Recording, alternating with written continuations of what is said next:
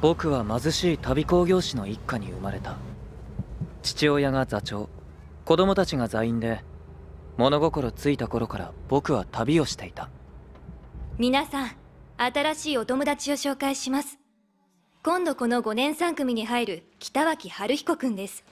春彦くんの家は人形劇をしながら日本中を旅しています。短い間ですが皆さん仲良くしてあげてください。よろしく春彦くん私日高きのこよろしくね。春彦くんのお家はどこ？トラックさ。公園の脇に止めてある。えー、トラックの中で暮らしてるの？ねえ今から遊びに行っていい？いいよ。あー。たくさんお人形があるのね。あらこれ何？ああそれはジャンピエールといってね。魔法使いの人形だよ。兄貴のお気に入りなんだふー。んあなたのお兄さんってちょっと悪趣味？なんちゃって。こっち側にもたくさんあるのね。ほら。え？ごめん。びっくりしたかい？もう。どんなに仲のいい友達ができてもその町での興行が終われば僕らは別の町へ行かなければならなかった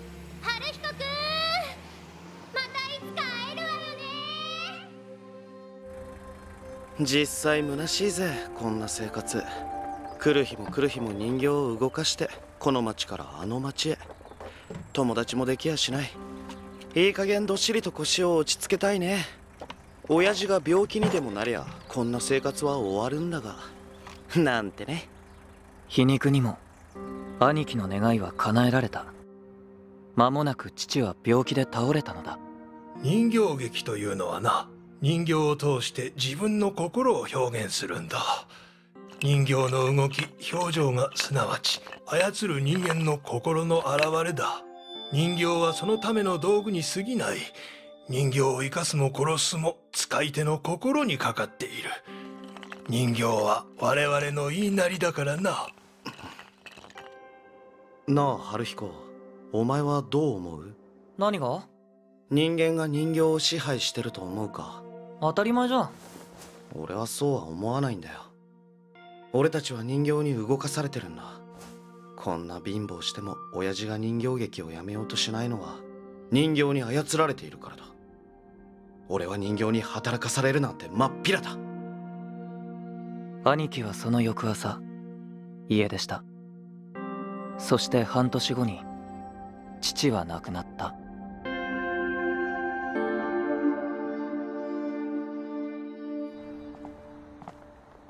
お兄ちゃん。私小学校卒業したら働くよ。お兄ちゃんだけ町工場で働かせて悪いもん。バカ。まだ中学校があるだろあのすみません。人違いだったらごめんなさいね。もしかしたら北脇春彦さんでは？やっそうですが。あなたは？ぱり。私覚えてないですか？日高きの子。小学5年の時同じクラスだった。あ覚えてる覚えてるよどうしてこの町に？就職して今この町にいるの。私いつか会えるんじゃないかと思ってた。きっと神様が私たちを引き合わせてくれたんだわ。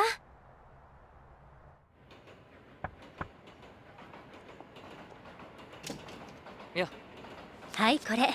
ポストに入ってたわよ。サンキュー。誰からだろう？あ兄貴からだ兄貴は同じ町に住んでいたんだ。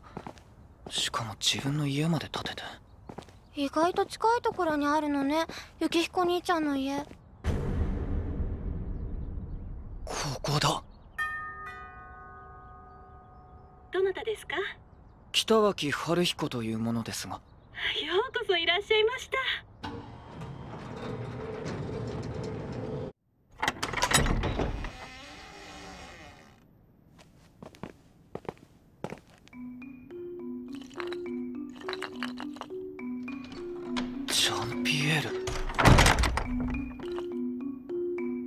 兄貴！おい兄貴！兄貴が操ってるのか？よく来たね春彦に夏美。待ってたよ。ようこそ。しばらくぶりだね。会いたかった。紹介しよう。これが家内のすみれだ。はじめまして。これが息子の綾尾だ。3歳になる。眠っているようだが。さあ2人とも上がりたまえなんとかなるもんさ人生なんて。家出した当時持っていたのは小銭とジャンピエールだけ。苦労もしたがジャンピエールが私に運をくれたんだ。おかげで20代半ばでケチな会社の社長さ。さあ遠慮なしに腹いっぱい食べてくれ。君音楽を頼む。かしこまりました。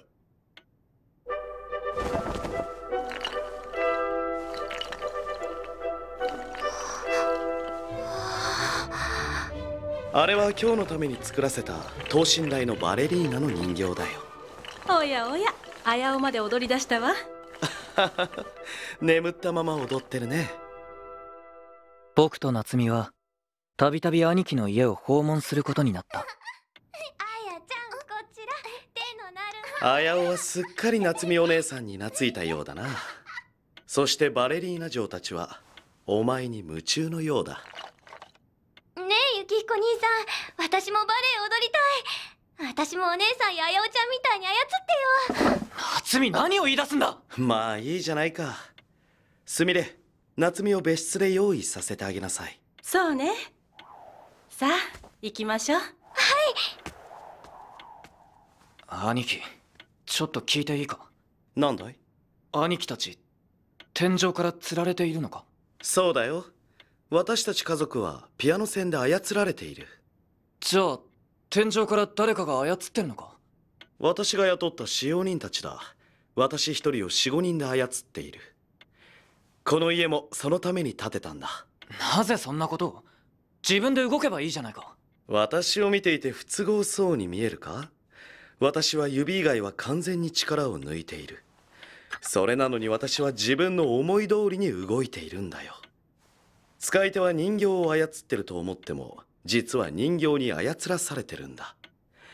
操り人形こそが真の操り手なんだよ。わかるかい？用意ができたわよ。どれどれ。入っておいで。どう？綺麗でしょう。ん見違えるようだ。しかしまだ体に力が入っているようだね。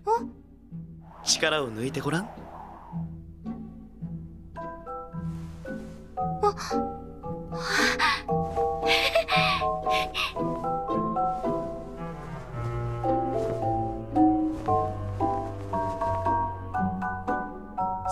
らしい。夏美もうその糸を外せ。帰るぞ。どうして？そうだよ。なぜ帰るんだ？今日一日ゆっくりしていけよ。兄貴悪いけど僕はこの遊びが好きになれないんだよ。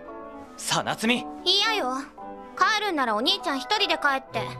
私このままずっとここにいるからお兄ちゃんはキノコさんと暮らせば？何バカなこと言ってるんだ。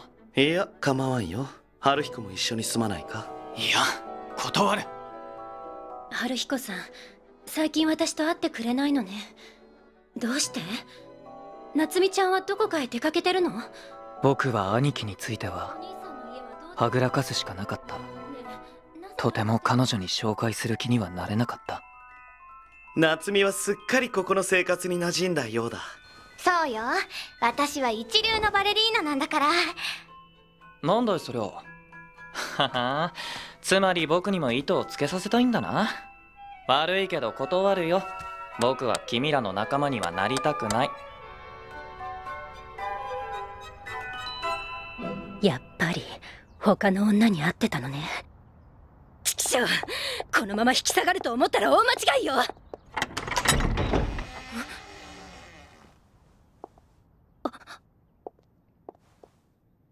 なんだびっくりした。この人形どこかで。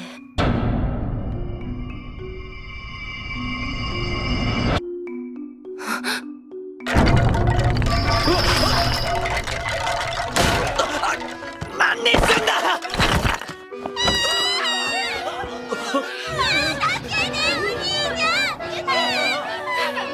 一体どうしたんだ？兄貴やめさせろダメだ。私の思うようにならない。乱れている。心が乱れているんだ。チャンピおい天井裏の人たち！やめろ！やめてくれ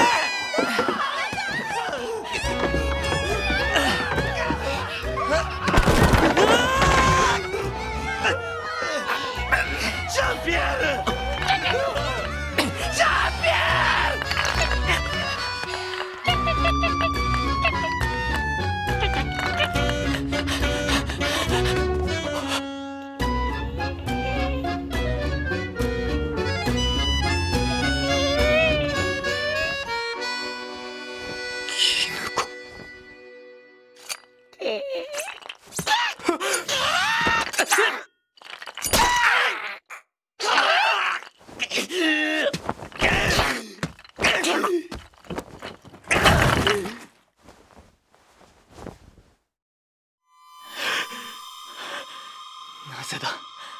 ぜなん。だ